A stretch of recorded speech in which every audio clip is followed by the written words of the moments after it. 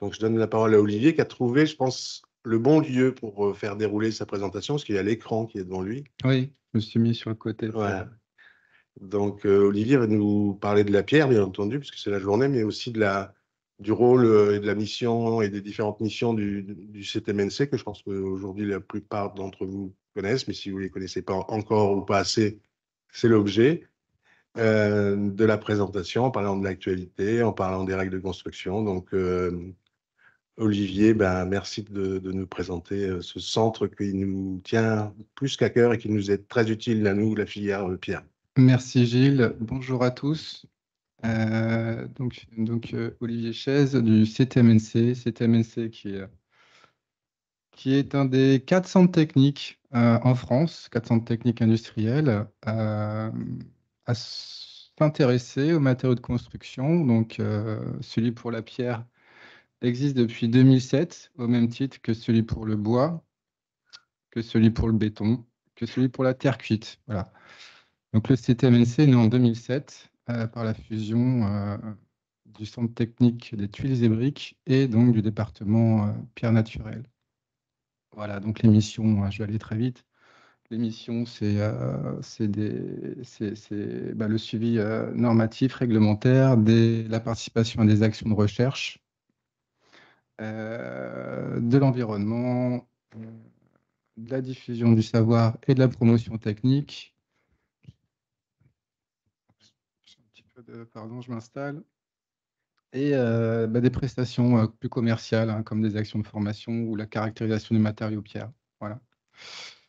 Voilà pour cette première partie de présentation. Alors, cette présentation, elle se veut un peu générale. Hein. C'est plutôt destiné, enfin, je l'ai construit de cette manière-là, je l'ai plutôt destiné à, des étudiants ou à toute personne qui, s'intéresserait au monde de la pierre.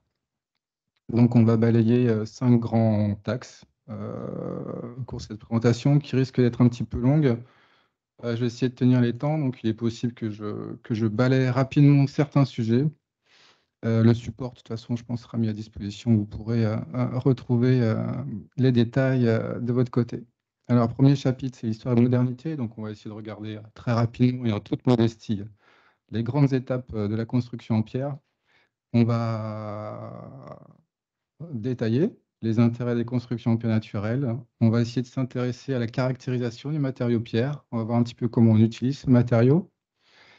Euh, je vais balayer rapidement les techniques constructives d'aujourd'hui et un petit point sur un sujet qui nous concerne tous, euh, l'impact environnemental des constructions. On va regarder plus spécifiquement évidemment l'impact environnemental de la construction en pierre et des moyens d'encore améliorer éventuellement cet impact. Alors, histoire et modernité. Donc la pierre, hein, c'est un petit peu des, généralités. Euh, c'est un des plus anciens modes de construction euh, utilisés par l'homme. Euh, on a des exemples partout dans le monde, et aussi en France, de bâtiments qui ont plusieurs siècles, voire des milliers d'années, et qu'on retrouve dans différents usages, hein, génie civil, bâtiment, voirie, aménagement. et on assiste depuis quelques années maintenant à un regain d'intérêt euh, qu'on détaillera un petit peu euh, par la suite. Alors, les premiers témoignages, hein, donc c'est des, lieux plutôt emblématiques. Euh, on commence 6000 ans en arrière avec des traces d'une carrière de silex à Spienne en Belgique, Stonehenge en Angleterre, qui date de 2500 avant Jésus-Christ, et en France, un vestige de 1300 avant Jésus-Christ, donc à, une forteresse en Corse, près de Porto Vecchio. Là aussi, des, monuments emblématiques. On continue un petit peu le parcours dans l'histoire de la construction en pierre avec euh, l'architecture euh, euh, classique, l'acropole d'Athènes, une architecture romaine où là on voit apparaître des formes comme des voûtes, des arches, avec l'aqueduc de Ségovie en Espagne, hein, on pourrait considérer que c'est un cousin du pont du Gard en France, on construit en bloc de granit, sans mortier. Euh, on continue, euh, on passe maintenant au Moyen Âge. Hein. Les, dates, alors 10e siècle, euh, là on voit, apparaître des, nouvelles, des nouveaux métiers comme les tailleurs de pierre. qui permettent, des constructions plus complexes, hein, des voûtes en ogive, des, éléments très élancés, des rosaces. voilà, donc l'intérieur de la basilique Saint-Denis.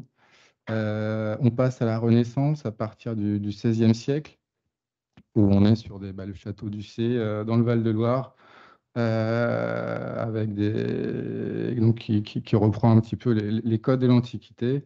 Et euh, ça correspond aussi à, l'essor de la stéréotomie, la stéréotomie qui est euh, l'art de, euh, concevoir les assemblages en pierre, la découpe, voilà. donc jusqu'à la fin du 19e siècle, la pierre était utilisée pour, essentiellement pour des, monuments prestigieux et peut-être localement à côté de carrières pour des constructions plus humbles. Euh, ça a connu un, réel essor à la fin du 19e siècle grâce au développement de, moyens de transport comme les voies fluviales et les, voies ferrées qui ont permis de, bah, transporter des, matériaux lourds hein, et comme plus facilement, bah, comme, comme la pierre. On assiste à un déclin entre les deux guerres, euh, mais l'utilisation euh, reprend progressivement euh, notamment grâce, aux travaux euh, de Fernand Pouillon à partir des années 1950, euh, qui, en a, qui a fait de la pierre hein, son matériau de prédilection. Vous avez ici une vue d'une de ses réalisations, donc les, bâtiments du Vieux-Port à Marseille. Et plus récemment aussi, à partir des années 80, un petit peu peut-être au-delà, donc les, les réalisations de, l'architecte Perraudin. Là, vous avez une, de ces dernières réalisations qui a été réalisée en Suisse qui s'appelle Plan les, Plan les. Voilà, donc des, architectes qui ont pu euh, remettre un petit peu sur le devant de la scène euh, ce matériau récemment. Aujourd'hui, donc, euh, on réutilise la pierre, on en voit de plus en plus, c'est une bonne chose, je pense. Hein. on verra dans les intérêts de la construction en pierre, ça, permet de répondre à, pas mal de questions d'aujourd'hui sur la construction. je fais une précision sur, les illustrations. elles sont essentiellement issu de, euh, euh, du dernier concours euh, construit en pierre naturelle, donc organisé par, par Pierre Actuel avec le SN Rock et Rocalia, un concours qui, qui, a eu lieu l'année dernière. Donc ici, vous avez deux exemples hein, de ce, concours-là, qui ont été présentés dans le cadre de ce concours-là, avec un exemple de façade de, pierre attachée, un peu complexe. Hein, c'est le cinéma Jacques Tati dans le 93. Euh, une résidence hôtelière dans le 12e, à droite, en pierre massive. Euh, la réalisation d'un parking euh, à Saint-Dizier des Monts d'Or, si je ne me trompe pas, avec cette mixité béton-pierre. un groupe scolaire, le groupe scolaire La Romaine dans le Gard, avec, vous voyez, ces grandes arches et euh, peut-être une réalisation dont on, a beaucoup entendu parler, donc les Halles de Saint-Dizier, euh, avec, vous voyez, c'est euh, cette mixité aussi à noter entre le bois et la pierre, et ces grandes arches qui parcourent ces, façades. Donc les, intérêts des constructions en pierre, donc on peut déjà s'intéresser aux intérêts écologiques, avec un, faible impact environnemental, euh, une matière qui reste abondante et disponible. Donc c'est un matériau naturel hein, qu'on découpe finalement, qu'on extrait, qu'on ne transforme pas, qu'on met en forme. Donc il n'y a pas de transformation chimique, pas de transformation physique.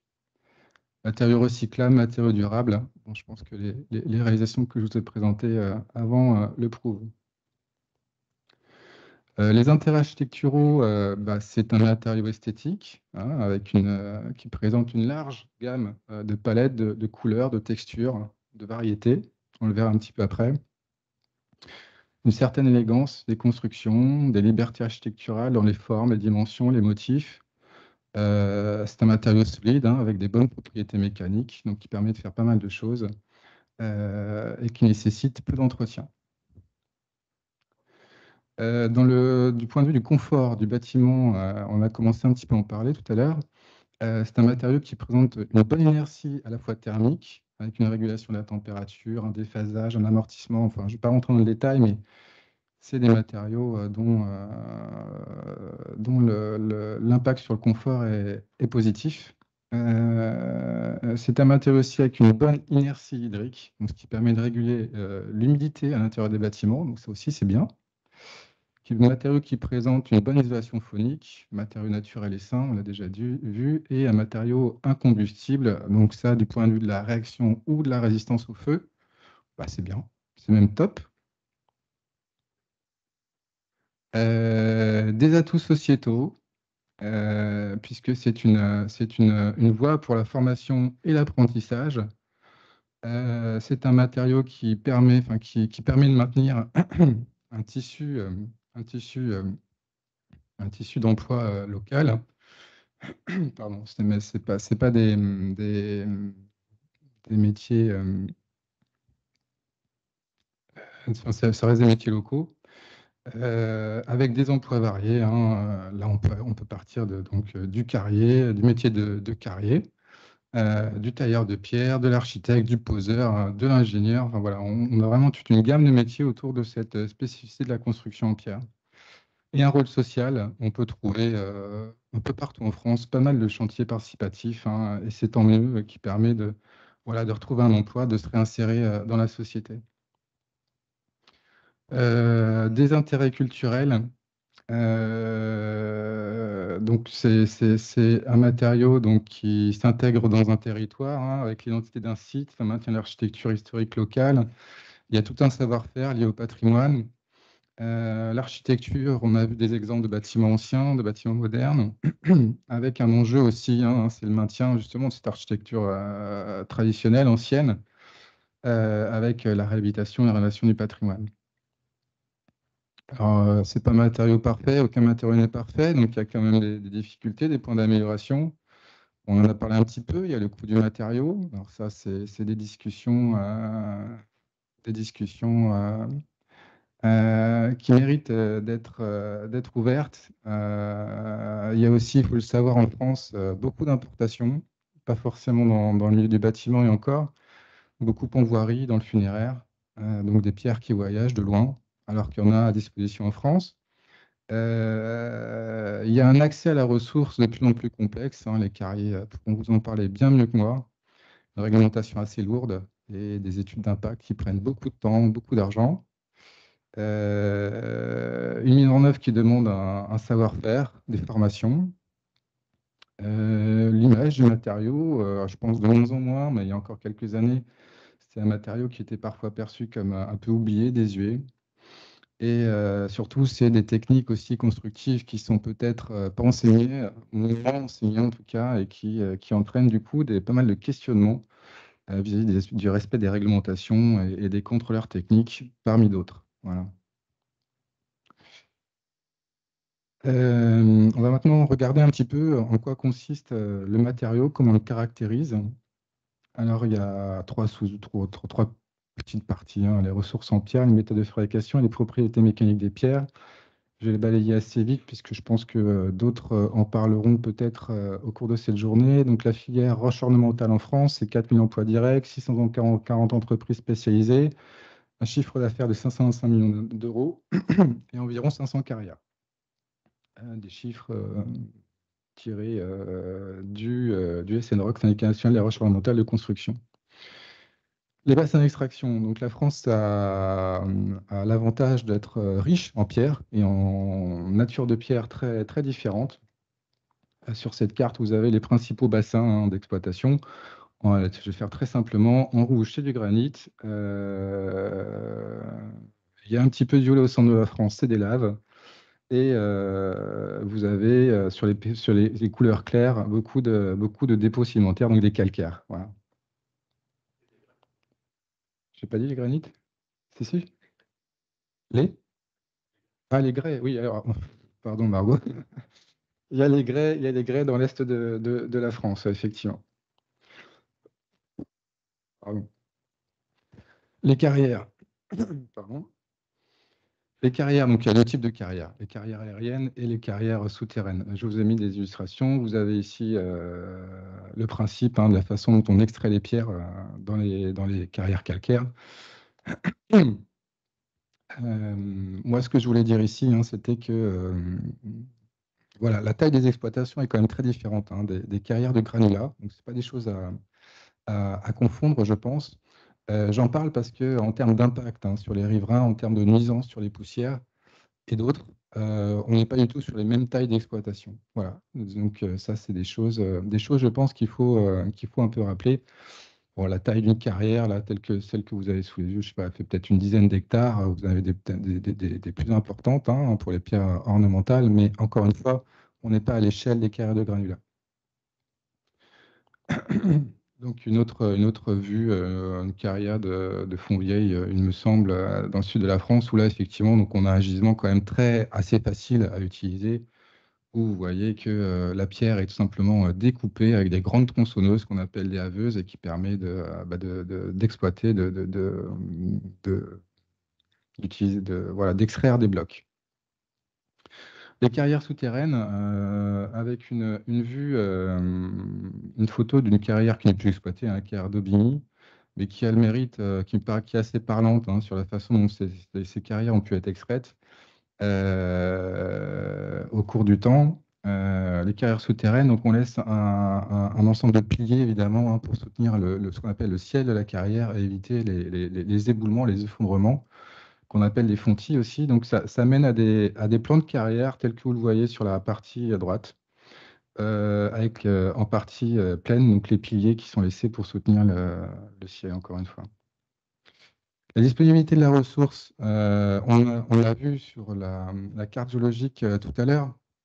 Là, c'est une autre illustration, peut-être une coupe stratigraphique du bassin parisien où vous voyez l'étendue et la hauteur des dépôts sédimentaires hein, qui constituent les pierres calcaires qu'on utilise. Alors évidemment, tout ne va pas être exploité, mais ça vous montre un petit peu euh, l'étendue de la ressource disponible. Une autre chose, c'est que, et ça, ça peut être intéressant aussi en termes de stratégie d'occupation des sols, c'est que euh, sur un hectare, euh, donc là, la, comparaison s'est faite par, rapport au matériau bois, sur un hectare, vous allez, exploiter 150 fois plus de, matériaux utiles, hein, donc euh, pour le bois sur une période de 100 ans, simplement en, en exploitant une, une, épaisseur de, de banc de 3 mètres de haut. 3 mètres de haut, ça peut paraître important, même si ce n'est pas forcément énorme. Mais euh, voilà, c'est un matériau qui nécessite peu d'espace pour être euh, utilisé, exploité. Une autre illustration sur la disponibilité de la ressource. Donc ça, c'est tiré d'un article euh, que je vous invite à découvrir d'ailleurs de Timothée de Toldi et de Tristan Pestre sur l'impact de la construction en pierre massive comparativement à d'autres solutions peut-être plus traditionnelles, mais encore que. Euh, donc c'est une carte qui, précise un petit peu les distances, euh, je regarde là, les distances, euh, les distances entre, les carrières de grès et de calcaire en France et les villes de plus de 100 000 habitants. Et dans un rayon de 60 km autour des carrières. Bon, voilà. Le résultat, c'est que plus de 90% des villes de plus de 100 000 habitants sont à moins de 60 km d'une carrière de calcaire et de grès. Voilà, donc ça, illustre euh, la disponibilité de, cette ressource.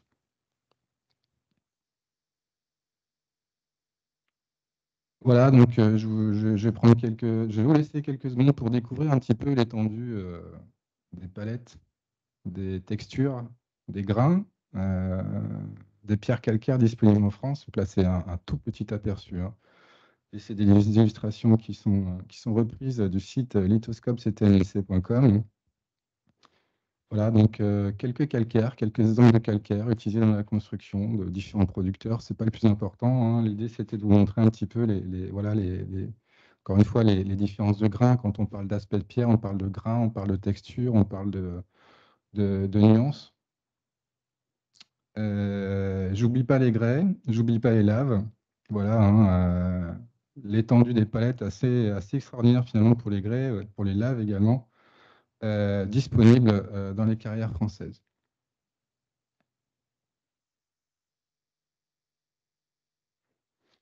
Les techniques d'extraction et de transformation, je ne suis pas le mieux placé, hein, j'ai juste fait une, petite diapositive, un patchwork euh, des techniques utilisées. Alors, ce n'est pas rendre du tout hommage au métier de carrière, de carrier, de, carrier pardon, puisque euh, bah, dans la réalité, les, ressources, les, gisements ne sont, pas forcément parfaits, il y a des fissures, il y a des défauts qu'il faut pouvoir... Euh, qu'il faut pouvoir, avec lesquels il va, falloir jouer, contourner pour extraire les,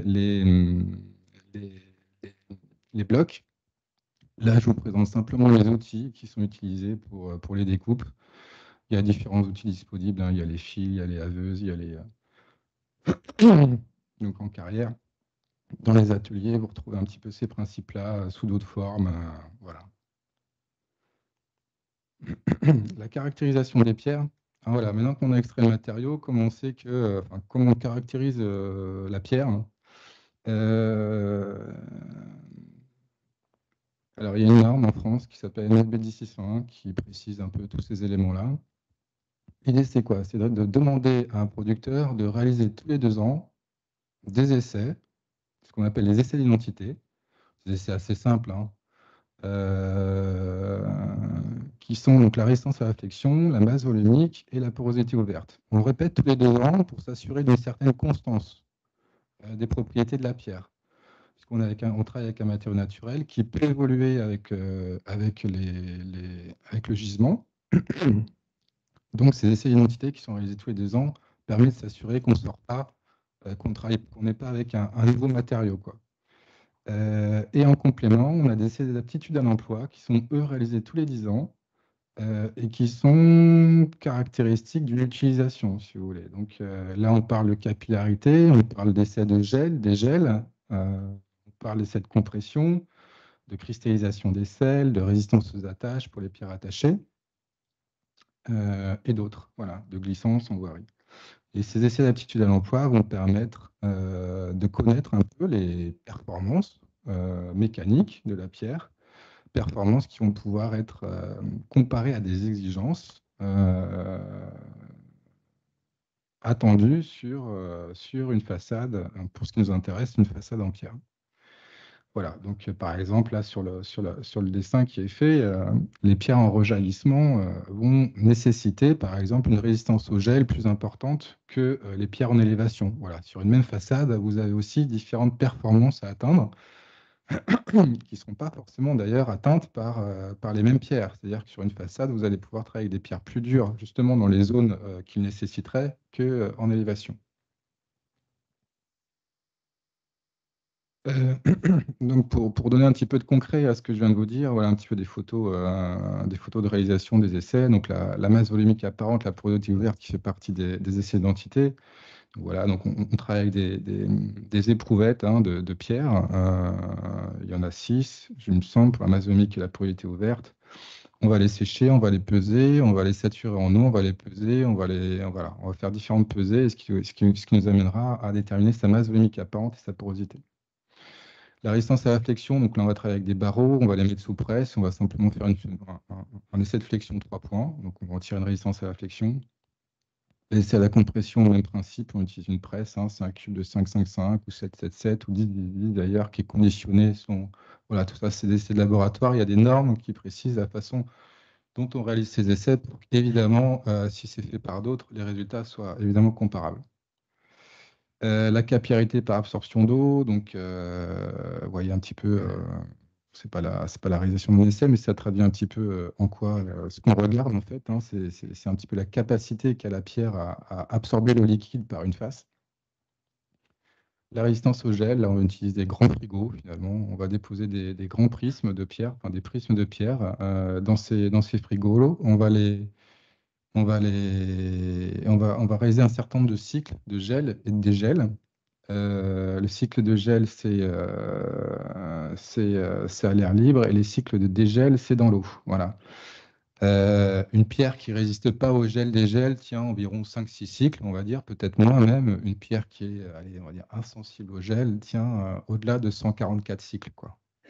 Et voire au-delà. En tout cas, nous, on s'arrête à 144 cycles si je dis pas de bêtises. Euh, La résistance aux attaches, donc ça c'est plutôt un essai, euh, essai lié à l'utilisation que pourrait avoir la pierre, une pierre, une nature de pierre dans la, pierre attachée. Euh, donc voilà, on, travaille avec des dalles de pierre dans lesquelles on a fait un trou, on a mis une attache et on va appuyer dessus, tout simplement, et on va regarder quelle est la résistance de cette attache.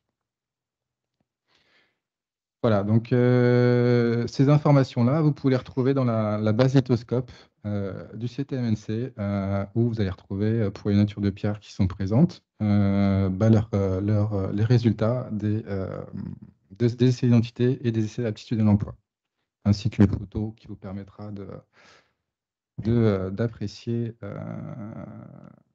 l'aspect de cette pierre. Alors, les techniques constructives d'aujourd'hui,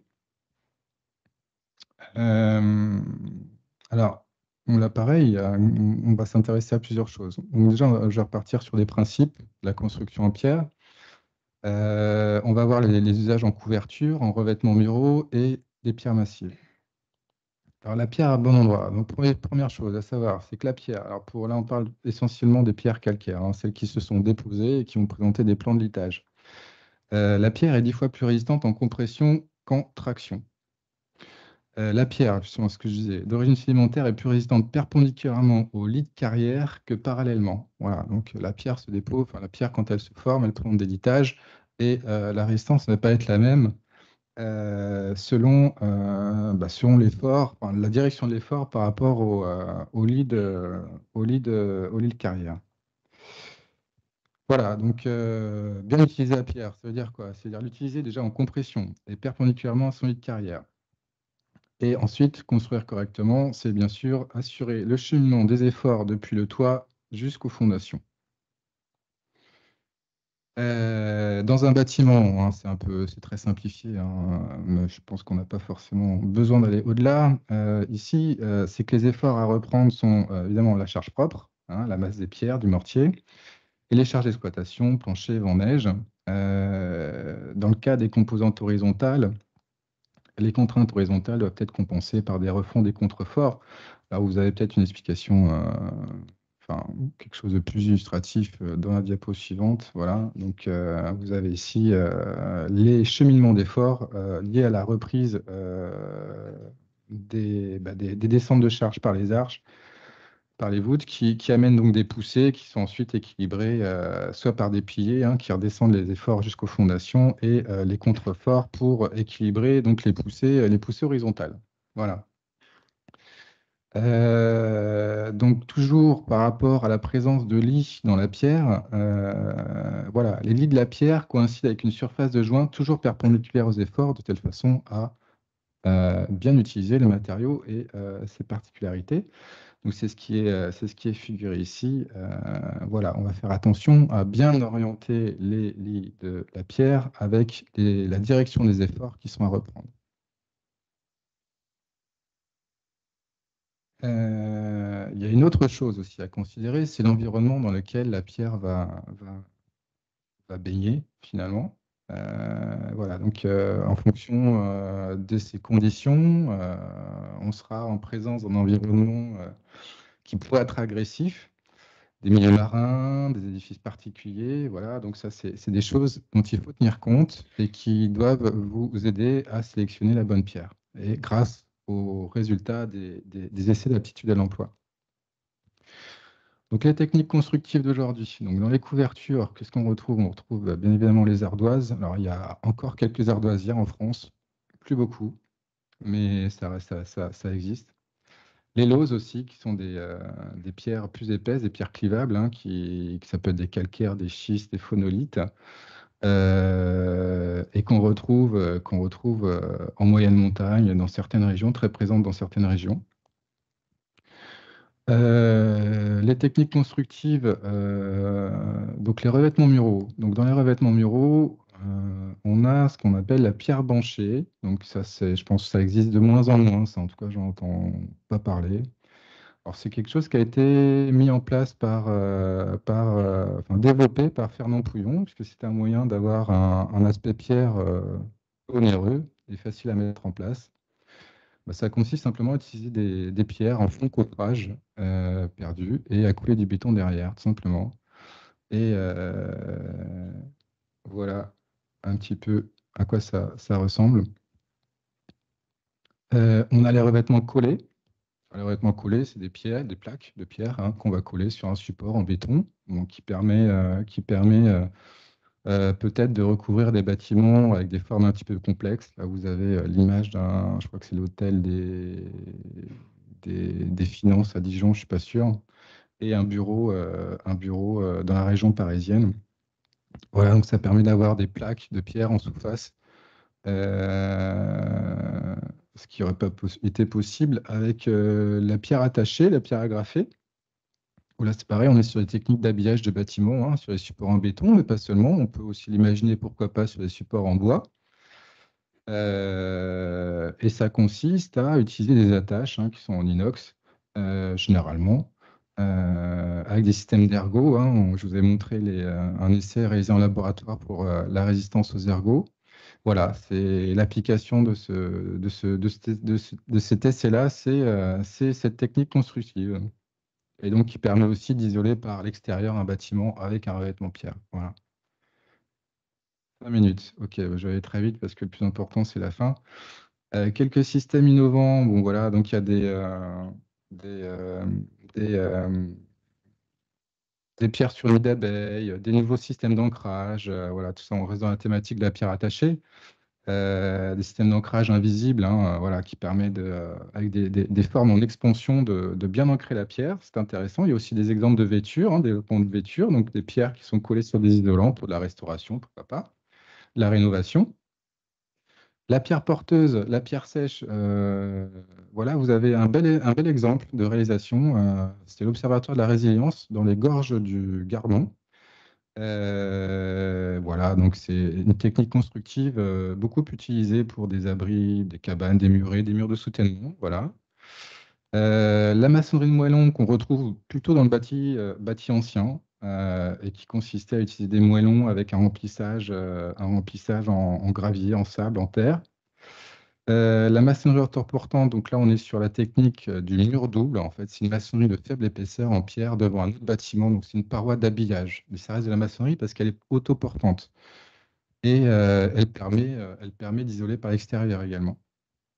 Avec un bel exemple de réalisation. Alors je crois que c'est un groupe scolaire et j'ai oublié la ville. Je m'excuse auprès de l'architecte. La pierre dimensionnelle, bon, voilà, pierre massive, hein, euh, dont on parle, aujourd'hui, euh, avec un exemple de réalisation. Donc ça, c'est à Versailles, c'est la résidence Les, euh, Vallées. J'ai oublié. Pardon. et quelque chose qui se développe de plus en plus, la pierre passe contrainte, qui permet, qui ouvre de nouvelles perspectives architecturales avec des, des, hum, des ouvrages très élancés. Euh, un exemple un peu emblématique, c'est euh, la Halle donc de la gare, euh, gare Saint-Charles à Marseille, avec ses colonnes qui sont réalisées en pierre précontrainte. Hein, vous avez des, des c'est des techniques complètement dérivées hein, du béton armé, hein, du béton post-contraint, utilisables avec la pierre, c'est un matériau très résistant aux compressions. Voilà. Euh, vous avez aussi le, le chai, euh, de lait à Hermitage. Vous voyez toute cette forme un peu, extraordinaire, hein, euh, ces formes courbes hein, qui, qui, n'auraient pas pu être réalisées. Donc ça, c'est que de la pierre. Hein. Il n'y a pas de béton là-dedans. qui n'aurait pas pu être réalisé sans, la, sans la précontrainte. Et ça commence aussi à être utilisé dans des bâtiments peut-être plus, comment dirais-je, plus courant. Hein. C'est ce que je voulais souligner. Il y, a, une réalisation qui a été faite euh, à Issy-les-Moulineaux qui s'appelle le Stade Alain Mine, euh, avec des pierres de grande hauteur euh, qui, qui sont béton et qui, qui ont pu être réalisées grâce à la mise en œuvre de barres précontraintes que vous voyez peut-être en bleu sur le schéma. Voilà. Alors, agir sur l'impact environnemental de la construction en pierre. Alors, quel est l'impact carbone de la pierre? Euh, Vous avez une réponse sous les yeux. Elle va dépendre de plusieurs choses. Elle va dépendre de l'épaisseur de la pierre. Elle va, dépendre de sa masse volumique. Voilà, pour faire simple, plus un, voilà. En tout cas, vous avez, euh, euh, donc, vous avez, bon, je, vais donner un exemple pour une pierre qui fait 25 cm. Hein, c'est ce qui ce qui apparaît sur ce graphique-là. Euh, alors oui, autre chose que je n'ai pas précisé, c'est évidemment hors impact transport. parce qu'on le verra, le transport a un grand impact hein, sur, sur l'impact carbone de la pierre. Une pierre qui voyage, c'est une pierre qui va, avoir un, fort impact environnemental. donc, hors impact transport, vous avez un, un impact carbone qui varie pour une pierre de 25 cm de 10 à 15 kg de CO2 équivalent par mètre carré de façade. Euh, pour une masse volumique qui, elle, va varier de 1400 à 2400 kg du mètre cube.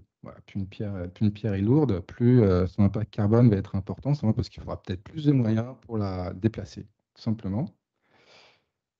Euh, là, c'est un détail hein, de l'impact carbone des, pierres durant différentes étapes, hein, les étapes de cycle de vie hein, qui, sont, utilisées pour faire des EDS les FDS qui sont des fiches bah, qui, mesurent tout ce que je, viens de vous dire de façon un peu plus formalisée, que vous retrouvez sur la base Ignace. Ça, euh, euh, c'est disponible en ligne euh, et c'est officiel. Donc c'est un exemple ici. Pourquoi? Parce que l'impact transport, le transport atelier, évidemment, le transport chantier, le transport déchets, tout ça c'est spécifique à un projet. C'est pas forcément ce que vous allez, ce que vous allez retrouver de votre côté ça donne des ordres de grandeur intéressants. Là, là on parle en pourcentage, donc euh, c'est bien aussi. Euh, l'étape de production, c'est celle euh, qui consomme le plus en termes d'impact environnemental. L'étape de construction, puisqu'on a plus de 50% pour l'étape de production. L'étape de construction, c'est 25% seulement. L'étape d'utilisation, c'est 2%, parce qu'une pierre, une fois qu'elle est en place, elle a besoin de très peu d'entretien. Et euh, on a aussi l'étape de, fin de vie avec un, 21% de l'impact. Donc, est lié à la déconstruction d'un port déchet, l'élimination. c'est un peu formaté, hein, mais l'idée, c'était de vous donner un petit peu euh, les grandes, euh, des ordres de grandeur. Quoi. Alors, comment agir? Comment limiter l'impact environnemental qui est déjà faible hein, Il faut bien le préciser, hein, l'impact environnemental de la pierre, c'est un des impacts les plus faibles des matériaux de construction. on le devine et c'est prouvé. Euh, hors matériaux biosourcés hein, qui sont en mesure de stocker du carbone. Euh, donc agir en production, bah, c'est limiter les chutes et les rebuts, donc en, prenant bien en compte les dimensions des bancs de carrière. Là, vous avez un exemple euh, de la partie supérieure de la carrière de Saint-Maximin avec le banc de liais, vous voyez, qui fait seulement 20 cm, c'est la flèche rouge hein, sur, le, sur, le, graphique. Donc tout ça, c'est des, voilà, des, spécificités, c'est des contraintes d'exploitation qu'il faut réussir à intégrer euh, dans vos projets. Voilà. Toutes les pierres ne sont pas disponibles dans les dimensions euh, qui vous intéresseront. Donc, c'est des, discussions que vous pouvez engager avec les producteurs pour, euh, voilà, pour faciliter ces, ces, ces mises en œuvre. Le rôle du calpineur dans ce, dans ce cadre-là est très important. Hein. C'est celui qui va pouvoir euh, réfléchir à, la taille des éléments, définir la complexité des éléments, etc. Euh, etc. Euh, une autre question qu'on peut se poser dans cette optique de limiter les chutes et les rebuts, c'est la recherche d'une homogénéité. Là, vous avez une maquette couleur donc, issue d'une, de, de chez Rocamath, hein, qui est devenu Polycore, France, euh, qui montre un petit peu les défauts. Alors les défauts, c'est pas des défauts mécaniques, hein, c'est des, défauts d'aspect. Moi, je parle pas forcément de défauts, je parle de particularités et qui peuvent, qui peuvent euh, bah, si on est peut-être trop exigeant, euh, augmenter le tri matière qui sera fait après la fabrication. Et donc augmenter encore la, les chutes et les rebuts.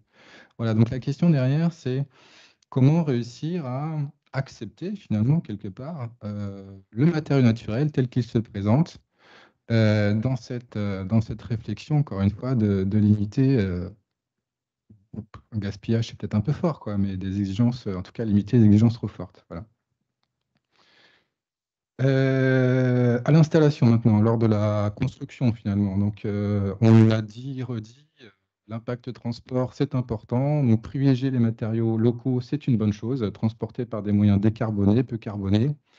On peut penser au transport fluvial, bref, il y a des choses. Euh, utiliser les chaînages quand nécessaire. Alors là, oui, ça c'est. Bon, moi je suis toujours déçu hein, quand j'ai des chaînages en béton dans une construction en pierre massive.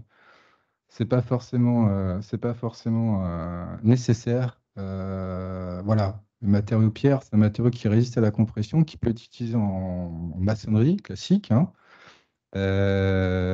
éviter, les, si possible, les portiques, hein, béton armé avec remplissage pierre. C'est une aberration pour moi. Euh, limiter les accessoires de pose. varier les épaisseurs de murs. Voilà, on n'a pas forcément besoin de la même épaisseur en, haut des bâtiments qu'en bas.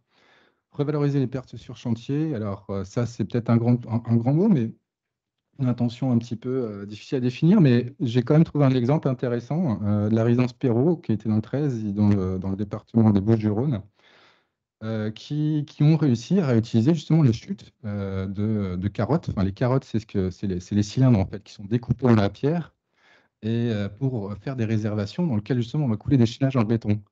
et là, bah, L'exemple qui est présenté ici, c'est la réutilisation de ces carottes pour en faire des mouchards à biais euh, dans le bâtiment. Voilà. Donc c'est possible, avec un peu d'imagination, on peut trouver des choses qui permettent qui, qui, permet cette, cette, valorisation des, rebuts.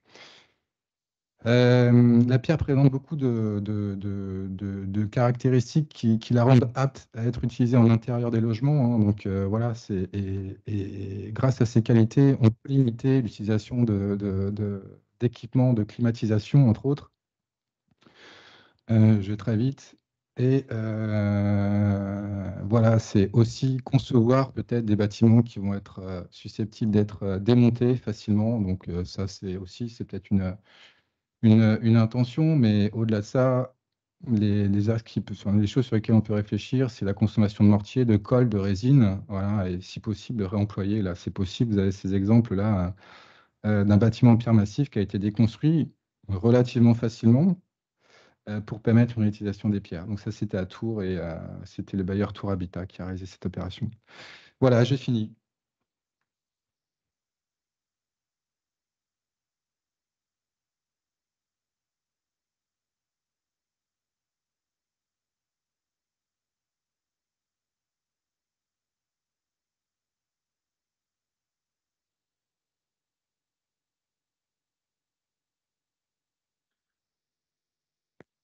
Merci, Merci, Olivier. En a cinq minutes de possibilité de questions. Il y a Michel Goutal qui voulait. J'ai juste une question. on, se on se présente. Ah oui, présenter le tour, donc Tailleur la Pierre. J'ai juste une question par curiosité donc au niveau du gel dégel. Vous faites à quelle température de gel négative en fait? Moins 20. euh, je ne sais pas si, Martin est dans la salle, il pourra m'aider. Hmm, je pense. Euh... Je pense c'est moins 20. Mais en tout cas, c'était comme ça avant. Voilà, moins 20. avec, deux, avec deux, cycles, deux cycles par jour, si c'est toujours le cas, mais c'est vrai que Martin peut peut-être euh, confirmer ou affirmer ce que je dis.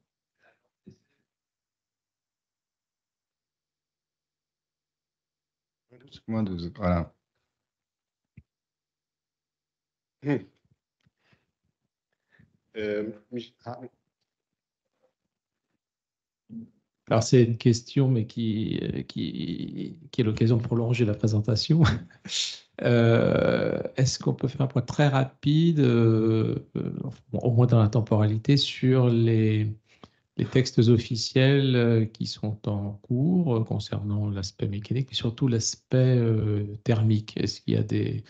Est-ce qu'il y a des TU, enfin, ou un, document technique relatif à l'inertie de la pierre, tout ça? Voilà. Est-ce qu'il y a des perspectives?